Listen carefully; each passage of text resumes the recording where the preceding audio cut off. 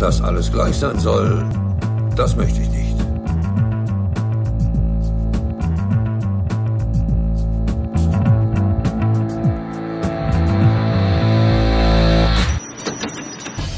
Hallo und herzlich willkommen zur Folge 52 der philosophischen Trilogie Abstraktionen, Nominalismus, äh, Sprachkritik hier auf dem Gleichsatzkanal.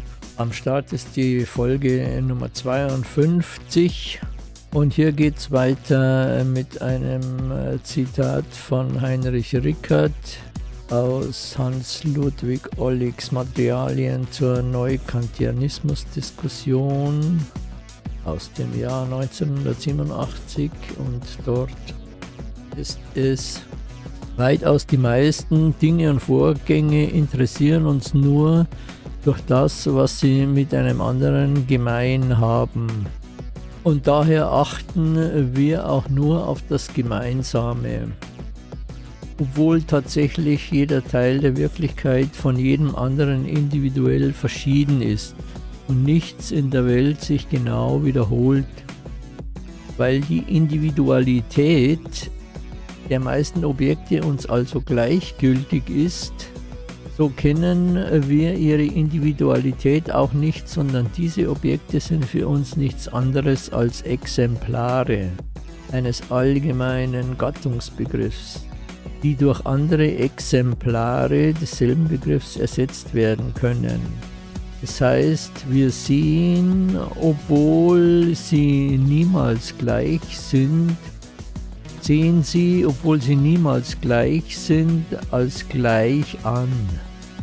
Wir bezeichnen sie daher auch nur mit allgemeinen Gattungsnamen. Diese jedem bekannte Beschränkung des Interesses auf das Allgemeine im Sinne des einer Gruppe von Gegenständen gemeinsame oder die generalisierende Auffassung aufgrund deren wir mit Unrecht glauben, es gebe wirklich so etwas wie Gleichheit und Wiederholung in der Welt, ist für uns zugleich von großem praktischen Wert.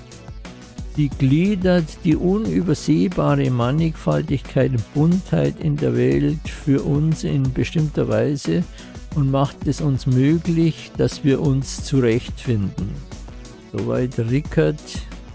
Ich äh, gehe nun auf die einzelnen ähm, Punkte hier ein. Also, so war das nicht gemeint. Herausheben möchte ich das Interesse. Es kommt auf das Interesse an. Und wir interessieren uns nur für die Gemeinsamkeiten weil sie anscheinend äh, dann nur von Bedeutung sind. So allgemein kann man das nicht stehen lassen, denn es kommt immer darauf an. Äh, in bestimmter Angelegenheit interessieren wir uns, ich, du, er, sie, es, äh, nur für die Allgemeinheit, äh, weil äh, wir daran interessiert sind, dass äh, etwas in demselben Verhältnis äh, zu irgendetwas steht wie äh, bei anderen. Also es ist äh, im Grunde sowas wie eine Anpassung oder ein Konformismus, äh, dass wir nur auf das achten, wo, worauf wir glauben, auch andere achten. Das ist ein Interesse, das vorhanden ist, aber auch nicht vorhanden sein kann. Aber tatsächlich, so Rickert, äh, sind, ist, äh, sind die Teile der Wirklichkeit immer individuell verschieden. Es wiederholt sich nichts. Und äh, die Gleichheit und die Verschiedenheit, die, die sind aber ähm, Resultat eines Interesses und nicht äh, Resultat einer Erkenntnis, wie man das vielleicht glauben möchte. Äh, und das ist äh, ein ganz entscheidender Punkt, der für den Subjektivismus spricht und nicht im Sinne einer Allgemeingültigkeit, logischen Allgemeingültigkeit. Die unabhängig äh, vom Interesse oder der Subjektivität äh, oder unabhängig vom Subjekt äh, existiert, vorhanden ist. Und so kennen wir ihre Individualität auch nicht. Man könnte, man könnte diese, diesen Abstraktionsprozess oder dieses Verhältnis zur Verallgemeinerung jetzt auch auf, äh, als Beispiel auf, äh, umlegen auf die Einstellung der Menschen zu Minderheiten, wie auch immer, überhaupt äh, auf Vorurteile generell, weil die sind in der Regel äh, sind auf denselben, äh, dieselbe Analyse hier äh, kann angewendet werden von Rickert. Es ist immer das Interesse ähm, für das Gemeinsame, das heißt, das Individuum wird dem Gemeinsamen zugerechnet. Man will den einzelnen Menschen, kennt man nicht, will ihn gar nicht kennenlernen, ähm, weil ja die Verallgemeinerung am Zug ist sozusagen. Und diese Gleichgültigkeit, diese Ignoranz, gepaart mit äh, einem, ein, einer, einer Willenskraft, die eher aus äh, Resultat einer Dummheit ist, äh, kommt es dann zu diesen Hasserscheinungen äh, von, von, von denen da äh, auf Facebook und Twitter, wie sie alle heißen, da die Rede ist. Also es ist immer eine Frage des Interesses und woher dieses Interesse kommt oder auch das Desinteresse, das zu untersuchen wäre Aufgabe äh, einer Bundesregierung, die den Anspruch hat, äh, auf derartige Erscheinungen einwirken zu wollen und jetzt nicht, äh, nicht nur die, die, die, finanziellen Mittel für ein Kiezbüro äh, zu streichen und dergleichen. Da ist die Frage dann, da geht es generell um die Frage des Interesses. Warum verlieren äh, Leute, Kinder gerade in, in sehr frühem äh, Stadium schon das Interesse am Lernen? da muss man sich fragen, was da, was da passiert. Und äh, ich denke mal, es bedarf keiner, äh, keiner ausgiebigen empirischen Studien. Das, äh, das kann jeder an sich selber verfolgen. Umso widersprüchlicher eine Angelegenheit ist, umso, umso weniger äh, Zusammenhänge äh, da äh, zustande kommen, äh, umso mehr wird dann auch äh, das Interesse verloren, weil der Überblick abgeht und die ganze Sache nicht mehr als nicht mehr beherrschbar erscheint. Und deswegen, das ist ein, eigentlich ein ganz natürlicher Prozess, sage ich mal, sich dann da zurückzuziehen, äh, weil man sich auf äh, eben diese natürlichen Prozesse dann zurückzieht. Da äh, ist der Mensch wie ein Tier, äh, um seine unmittelbaren Bedürfnisse besorgt und es gibt dann auch keinen Blick über den Tellerrand hinaus, sondern nur das unmittelbar Konkrete, auf das äh, man Einfluss nehmen kann, äh, bedeutet dann äh, die Art von Realität, auf die diese Leute dann auch in, in ihrer Reflexion geeicht sind.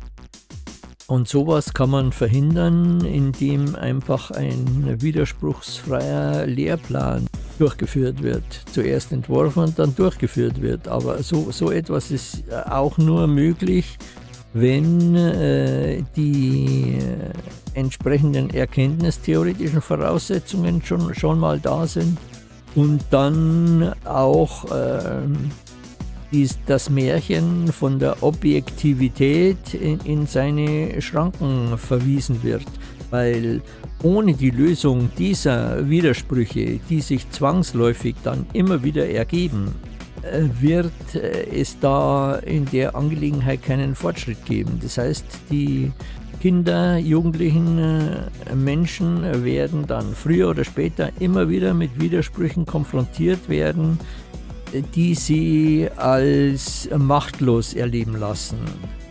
Und damit ist dann auch das Interesse verschwunden. Das soll es jetzt hier zu Rickard und darüber hinaus gewesen sein. Wir halten fest, das Interesse und dass wir mit Unrecht glauben, zu Unrecht wird geglaubt, dass es sowas wie Gleichheit und Wiederholung in der Welt gibt als äh, tatsächlich existierend. Gleichheit und Wiederholung sind äh, Urteilsbegriffe. Das heißt, äh, es braucht dazu ein Urteil. Es, es reicht nicht, das äh, bloße Sehen. Ein bloßes Sehen gibt es sowieso nicht unabhängig von einer, einer Beurteilung, ob die jetzt bewusst oder unbewusst stattfindet. Da gibt es kein Entkommen ob man sich jetzt, äh, ob man jetzt etwas will oder nicht will oder gleichgültig ist. Man hat es immer mit einem Bewusstseinszustand zu tun. Und in diesem Bewusstseinszustand, dieser ist nicht denkbar ohne eben dieses Urteil, seine Aufmerksamkeit auf dieses oder jenes zu wenden oder nicht zu wenden oder gar keine Aufmerksamkeit zu verwenden. Spielt keine Rolle. Es ist immer es gibt immer einen Träger, so, solange es ein Bewusstsein gibt, der für diese Zustände dann ähm, mehr oder weniger verantwortlich ist, äh, in dem Maße, wie man sich dessen bewusst ist. Aber wie schon das Strafgesetzbuch sagt, Unwissenheit schützt vor Strafe nicht. Also aufgepasst im Straßenverkehr. Es geht weiter mit der nächsten Nummer 253. Edmund Husserl ein Mann, der den Dingen äh, anscheinend äh, sehr tief auf den Grund gegangen ist, bis, zu, bis zum Etwas, äh, dem unvor, ungeformten Etwas, dem Irgendetwas, phänomenalem Etwas, und dessen die Erscheinung in den Vordergrund gerückt wird und eine ganze Wissenschaft, die Phänomenologie, ins Leben gerufen wurde, geht, äh, der Ausgangspunkt ist immer der Begriffsbildungsprozess und an dem scheiden sich dann die Geister und die Schulen und bei Husserl sieht das folgendermaßen aus, äh, wenn er schreibt, aber da es dem Logik, Logiker nicht auf das Konkrete und seine Einzelzüge ankommt, sondern auf die betreffende Idee, auf das in der Abstraktion Erfasste, so hat er unmittelbar keinen Anlass, den Boden der Abstraktion äh, zu verlassen. Und statt der Idee vielmehr das Einzelne, dieses sein konkretes Erlebnis zum Zielpunkt seines forschenden Interesses zu machen. Also der Logiker hat es mit Formalitäten zu tun, weil ihn jetzt so generalisiert nur das interessiert, äh, was verallgemeinerbar ist und die Allgemeinheit einer Sache äh, wird auch als Idee bezeichnet, als das Wesen, die Idee von einer Sache. Wobei man nicht ohne eine Definition eines solchen Wesens auskommt, äh, die dann immer mehr oder weniger willkürlich ist, aber äh, ähm, dieses formale, allgemeine als Idee bzw. Abstraktion ist der Gegenstand, nur das ist der Gegenstand der Logik und nur das ist auch der Gegenstand der Wissenschaft nicht der Forschung, weil in der Forschung ist das Problem eigentlich immer die Einzelheit, die sich nicht in die sehr bekannten Allgemeinheiten einreihen lässt. Aber wenn dann die Theorie fertiggestellt ist und alles gesetzmäßig äh, geformt ist, dann äh, bewegt man sich ausschließlich im Bereich der Abstraktionen und alles, was dann äh, sogenannt wahrgenommen wird, äh, wird dann äh, unter diese Gesetze sub subsumiert und sind dann äh, diese Gesetze äh, maßgebend für irgendeinen Vorgang.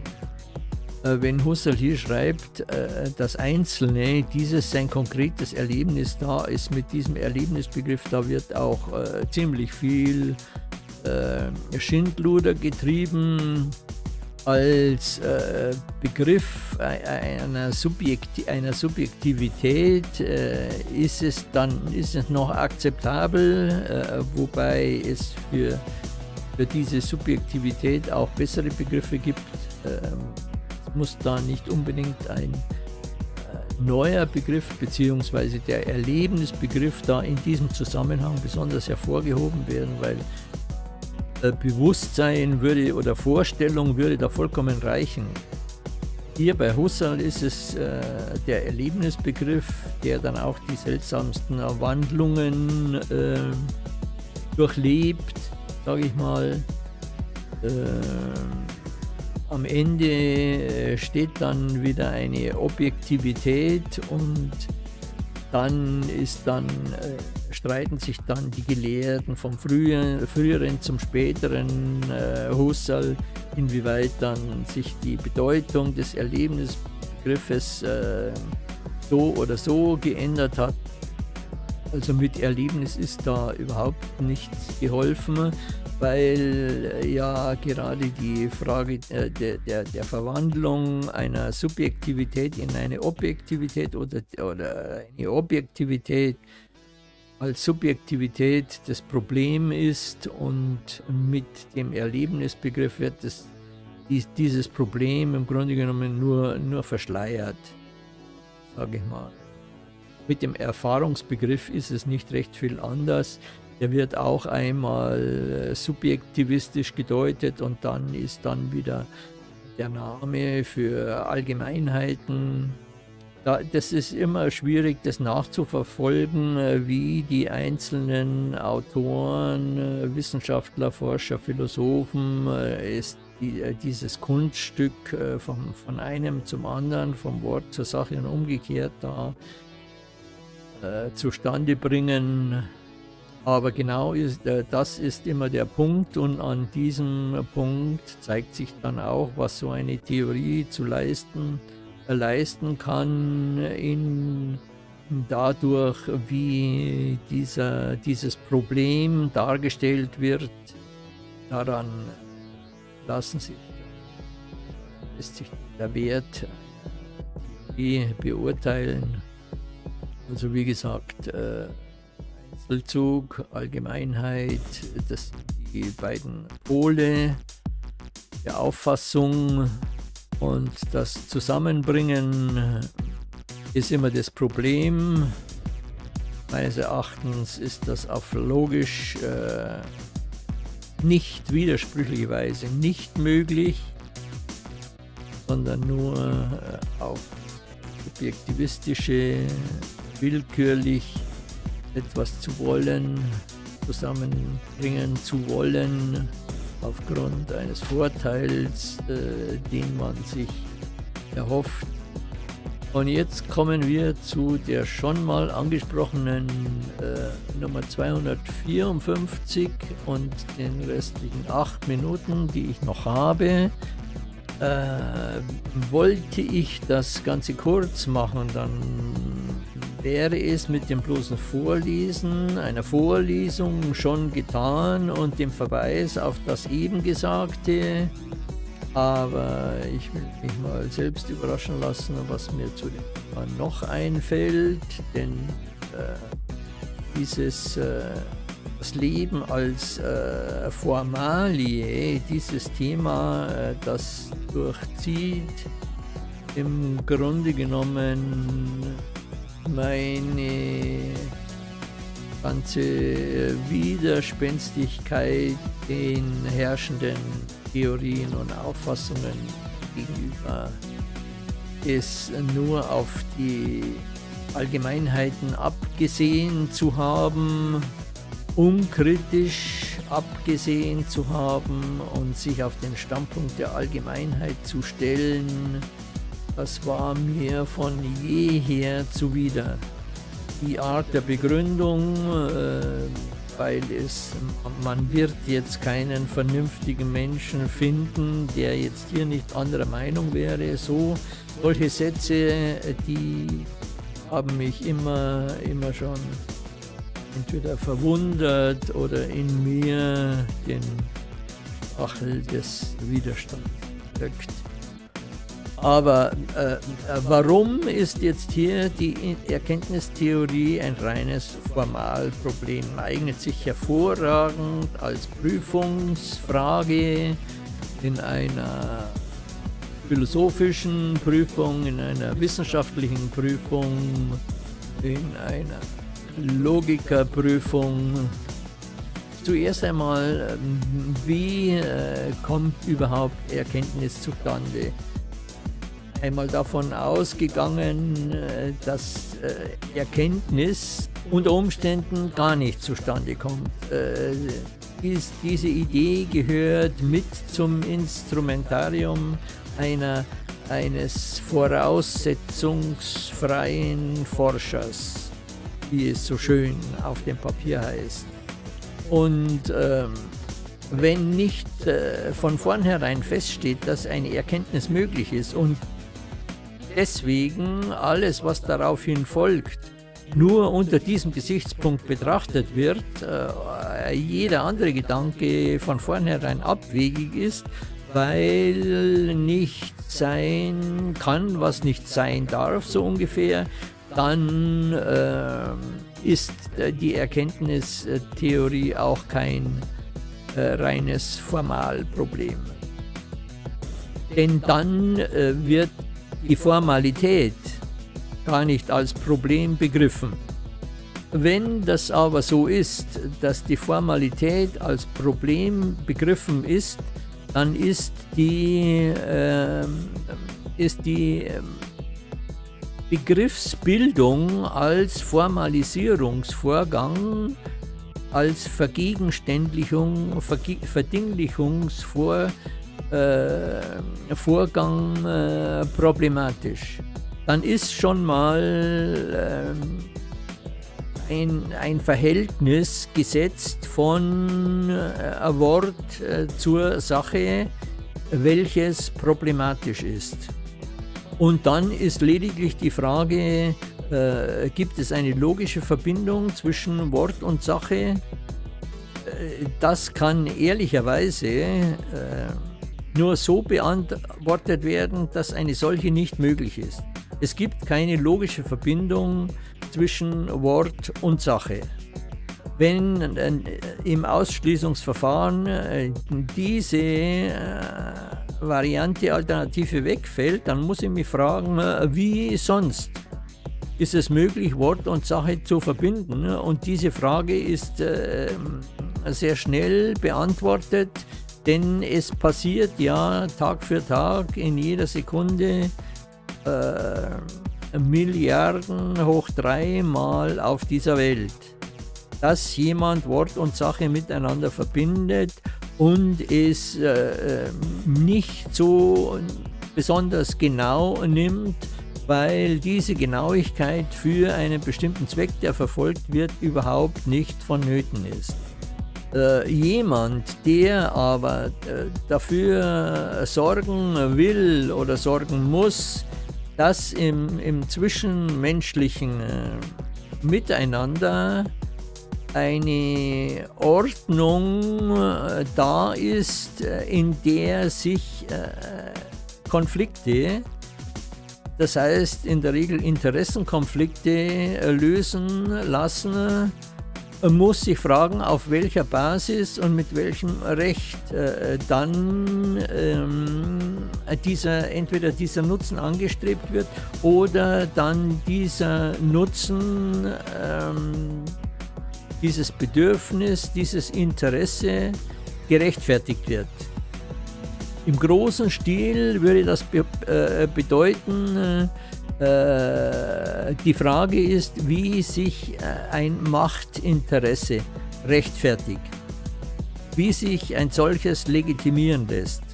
Und da gilt dann, äh, wenn man äh, nicht nur bloßen Behauptungen glauben will, wie, ja, das ist ja alles ähm, die Macht, äh, die, die Gewaltenteilung und alle vier Jahre wählen und damit ist die Macht legitimiert.